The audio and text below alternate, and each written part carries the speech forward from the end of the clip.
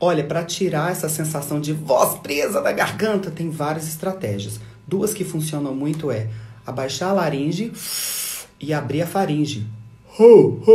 E aí você busca o seu colin de belt com essas sensações.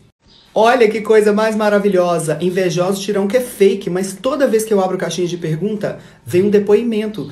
Muito obrigado pelo seu feedback. E é isso mesmo, eu fiz meus cursos com muito carinho. Desde o básico, ele já traz resultados sim. Dependendo da sua idade, pode ter sido a muda vocal da adolescência, mas com técnica você vai acessar essas notas com outros registros. Talvez você está tentando ir com o mesmo registro ou sem técnica. Bora estudar que vamos resolver isso. O ideal é traçar junto com o professor um aquecimento vocal específico para você, para sua demanda. Mas tem alguns gerais que você pode fazer, uns mais generalizados, pelo menos por enquanto. Vou deixar o link aqui que tem lá no meu canal uma sequência? Eu desenvolvi uma técnica que se chama mapeamento de Borges e ela está presente nos meus cursos e é uma das bases para o meu trabalho. Mas uma coisa que você já pode fazer sozinho é dar aquele gritinho de empolgação assim, ó. Uh! Uh! Isso é sua borda tênue. O segredo para projetar a voz é usar bem seus espaços de ressonância, principalmente cavidade oral. Então, abrir ela e deixar a voz chegar aqui. É o que mais dá projeção para a voz. Tá bom? Externo alto, costela aberta, umbigo para dentro. Inspira e canta sem empurrar o ar.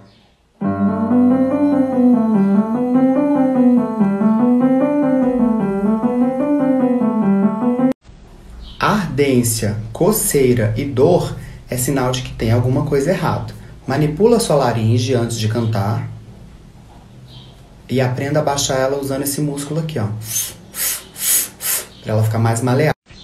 Não, se você desenvolver o seu ouvido harmônico, a sua percepção musical para entender a harmonia, né, a relação vertical entre as notas, e aí você decora e você consegue fazer isso sem a ajuda de nenhum instrumento. Maçã é alimento, não é remédio, mas ela tem sim um benefício para a voz. Ela é astringente, ela limpa o seu trato vocal. Então, comer maçã antes de cantar vai deixar a sua voz mais fácil, digamos assim. Os movimentos ficam mais fáceis. Desconforto ao cantar é sinal de falta de técnica. A boa técnica, ela te traz em primeiro lugar conforto, em segundo lugar a estética que você quer. Então temos que dar uma limpada na sua técnica, ver onde está o erro, na respiração, nas pregas vocais ou na ressonância. O melhor caminho é dominar os seus subregistros. No belt contemporâneo, a gente usa sete subregistros base. Alguns são melhores para os graves, outros são melhores para o agudo. Quando você entende isso na prática, você controla sem desafinar e passa. A principal diferença é o formato das pregas vocais. Na voz de peito, elas estão mais encurtadas, densas e grossas. No belt, elas já estão mais flexíveis, mais finas, alongadas. Por isso, belt não é voz de peito, não. Se a voz não tiver técnica e não tiver uma boa técnica, sim, nossa voz muda muitas vezes ao longo da vida. É o envelhecimento natural da nossa voz, assim como qualquer parte do nosso corpo. Mas a técnica ajuda a retardar isso, hein? Ai, que pergunta fofa. Mas cuidado, viu? Não é uma coisa tipo abrir, achei! Não, é um processo. É mais uma construção do que um encontro, sabe? Você vai construindo ali a sua técnica, a sua voz, seu timbre. Sim, meninos, são muitos alunos, graças a Deus, e eles pagam por isso. E eu estudei para isso, né? Então faz sentido essa relação aí comercial. E eu sei que você não tá perguntando por mal, mas aprenda a dar valor ao trabalho dos outros. Sim, mas não é só isso. Levantando o palato também eu consigo, abrindo a faringe também eu consigo, abrindo mais a mandíbula também eu consigo, tirando língua e lábios da frente também eu consigo, acionando rinofaringe e cavidade nasal também. Sim, basicamente por três motivos: amadurecimento vocal, envelhecimento vocal e pela técnica. E eu vou defender a técnica para sempre, porque a técnica ela consegue ajudar na adaptação no amadurecimento e atrasar o envelhecimento. Olha que maravilha! Então, bora fazer aula, menino. Não precisa ser presencial, pode ser online também, né? Uma aula individual, online, ao vivo, também rola muito. Tem muitos alunos assim.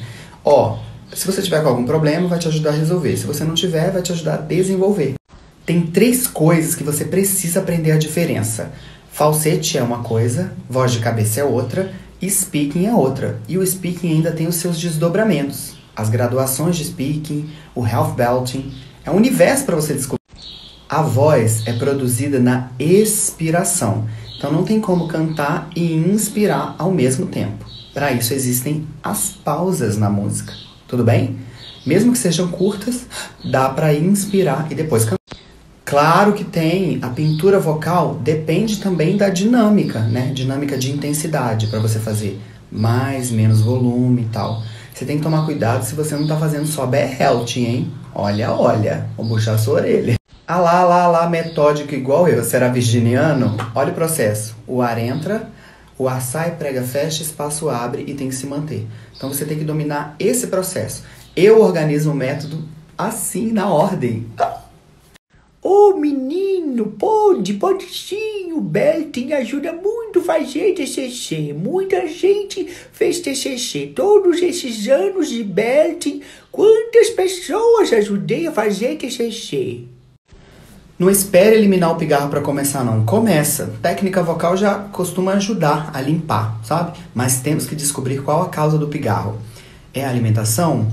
É algum hábito que a gente pode mudar? Vem, vamos. Tem sim. O soul ele é mais oral, ó. Oh! O cover de soul ele é mais aveludado, né? Porque ele tem a cobertura.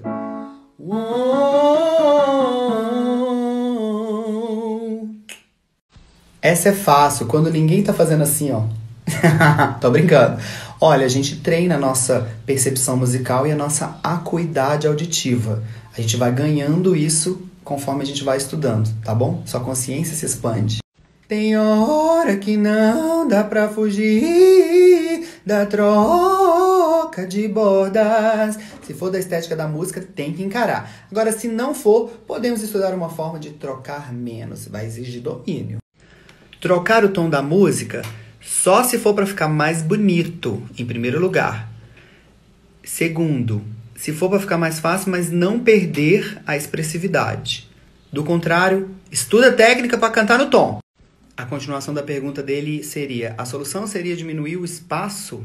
Não, deixar mais oral. Se você tá parecendo que tá no legês, tira o vibrato e canta mais oral.